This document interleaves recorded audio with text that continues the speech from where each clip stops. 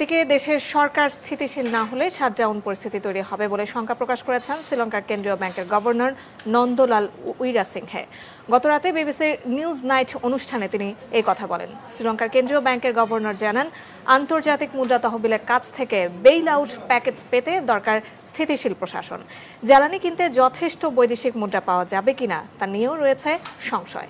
চলতি মাসে জ্বালানি তেলের খুব বেশি হলে তিনটি বা চারটি চালানের মূল্য পরিশোধ করা সম্ভব হবে। তারপর আর কোনো চালান আনা যাবে কিনা সেটি অনিশ্চিত। গভর্নর জানান, ঋণদাতাদের সঙ্গে গঠনমূলক আলোচনা চলছে। তবে সবকিছুই নির্ভর করে কত তাড়াতাড়ি সরকারের স্থিতিশীলতা আসে তার উপর। অন্যতম প্রেসিডেন্ট পদপ্রার্থী হিসেবে তার নাম শোনা গেলেও শ্রীলঙ্কার কেন্দ্রীয় ব্যাংকের গভর্নর নন্দনাল উইরা সিংহে জানান, রাজনীতিতে জড়ানোর কোনো ইচ্ছা নেই তার।